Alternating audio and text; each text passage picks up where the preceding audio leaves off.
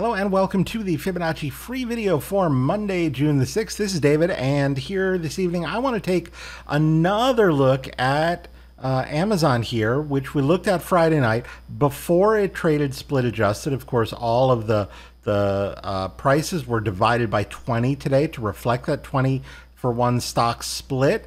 Um, and we talked about uh, how we would see the voodoo lines uh, move to accommodate that today, where uh, here on Friday, we were closing right at this second most important of the voodoo line levels, the most important being these fire lines like this one down here. Now at uh, 101.56 right? So that would have been um, just over 2000 in um, uh, in in pre-split numbers but that represented uh, a multi-month low here in Amazon, actually multi-year low here in Amazon, um, from which this market is trying to recover, and uh, and and now holding on a pullback late last week, this 122.19 level, which is where our um, our nearby tree line is going to be. So uh, look, the way these voodoo lines work and these roadmaps we can construct with them,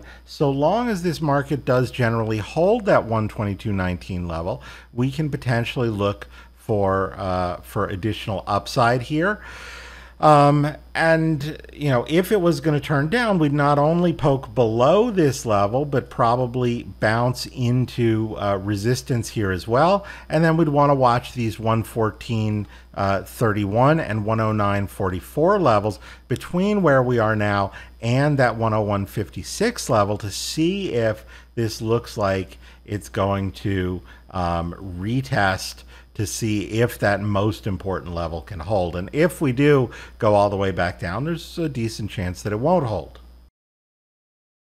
That uh, that 122.19 level, however, that's the the real level I want to watch. Now we could certainly come in here and pop a um, a fib retracement on the move up from a couple of weeks ago into um, into today's high, and notice that um, that that level is, you know, if we pull back from here, roughly a 23.6% retrace uh, on the smaller end of the retrace levels that um, that I use.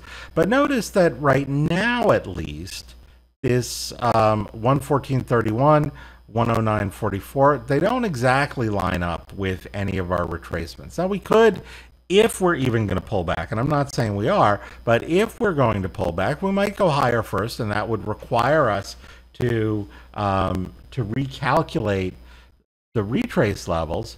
But looking at where the 61.8 comes in now, here at 111.85. Uh, you know, if we were to break that, there's a little room below it. Um, that comes in near this 109.44 voodoo um, Voodoo Snowline area. Any pullbacks above here might still work their way back above this tree line, but as I said at the outset, holding immediately above the tree line, this 122.19 level, that keeps the short-term focus immediately up. So that's what I have uh, here for you this evening. Hope you found it useful, and I will see you at the next update. Without simpler trading, I could not have financial independence. This is one of the best investments I ever made in my life. It's helping me find consistency. It's one of the things that won me